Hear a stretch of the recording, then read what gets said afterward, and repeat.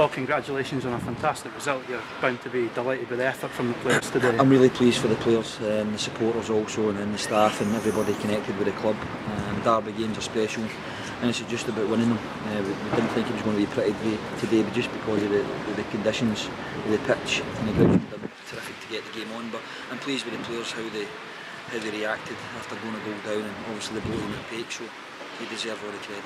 Yeah. Like what a time to score your first goal for, for Dundee.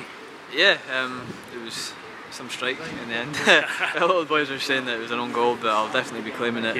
And um, I think I should have scored in the first derby, so that's been on my mind a lot, and probably should have had a few more goals before now. But I've been playing more defensive recently, so it's been tough to get forward. I should have shot earlier in the game, sort of five minutes before the boys were wanted me, have a shot, have a shot, and then just thought second one, why not? Just swing a leg and see what happens, and if you don't shoot, you don't score. So delighted.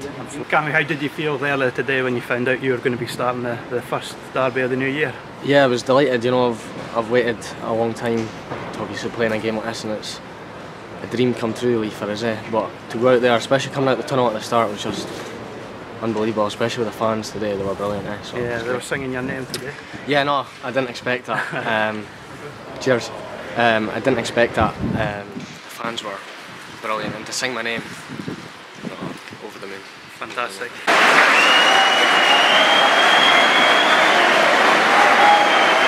Double substitution. Number 19 for Dundee United, Gavin Gunning replaced by 15, Simon Murray.